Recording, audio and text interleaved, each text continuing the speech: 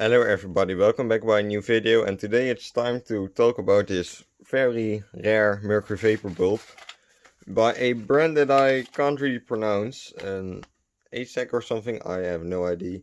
Um, it's a band from Charleroi in Belgium and yeah, I had to search all this information up since this is not a very well known brand.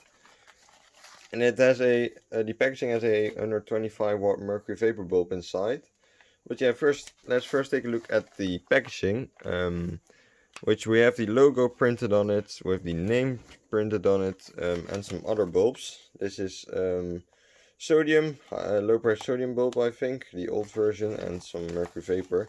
So that makes it so that it looks like an old packaging and it's probably a very old packaging.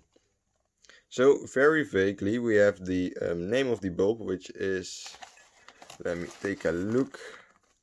LFB 125 watts um, which is probably mercury vapor like Philips calls their bulbs HPLN this is probably that the same thing.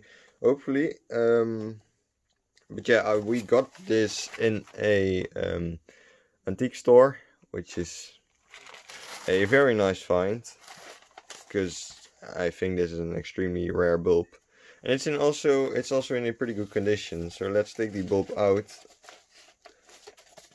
Don't want to ruin the packaging or anything. So yeah, this is um, the bulb. So let's compare it real quick to a Philips one. Um, size and stuff are the same. That's probably uh, permitted to be the same. But the bases are different.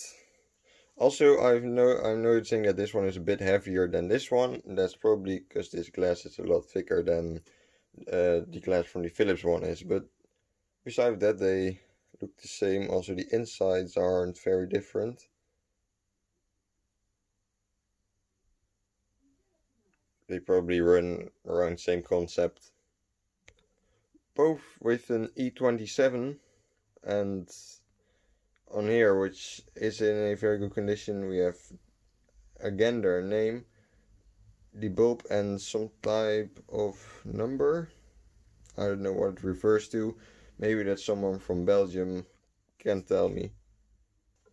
So yeah, the packaging, the bulb, and let's uh, get a fixture for it. And then let's test it. I had to wire the whole fixture. but yeah, it's wired now. And let's take the mercury vapor 80 watt out. And let's put the bulb we are talking about in.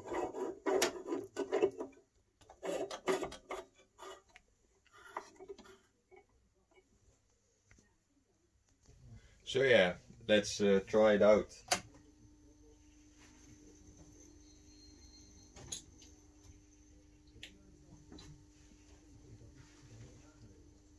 Nice pink start. Bit messy, but that's fine.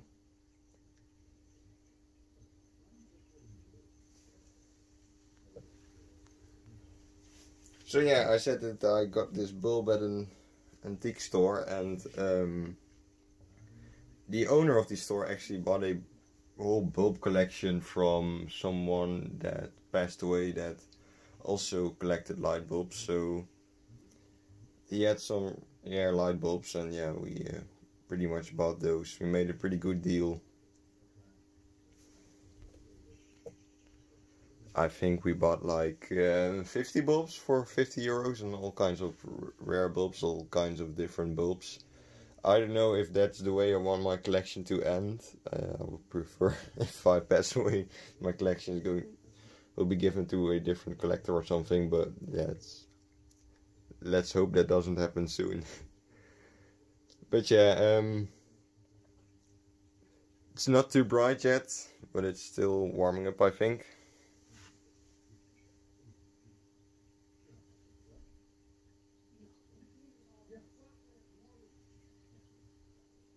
It's a bit more blue than the uh, other mercury vapor bulbs. It's a bit of a difference. I don't know if that's the UV light. If so, then um, you already know what I wanted to do with my collection when I pass away. Um, But yeah, let's hope that that's not the case. Yeah, it's definitely less bright than most 125 watt mercury vapor bulbs, but I'll show the light that it gives. See, it's not very bright.